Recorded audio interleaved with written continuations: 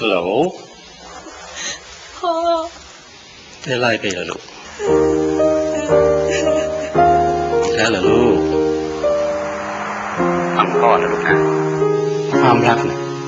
ต้องการการพูดจากันให้เข้าใจชัดเจนแล้วก็ที่สำคัญนะ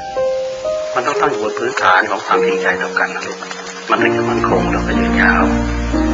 แล้วทุกอย่างมันก็จะดีขึ้นเองนะลูกนะ สายสัมพันธ์ที่คุณวางใจ 54 ปี TOT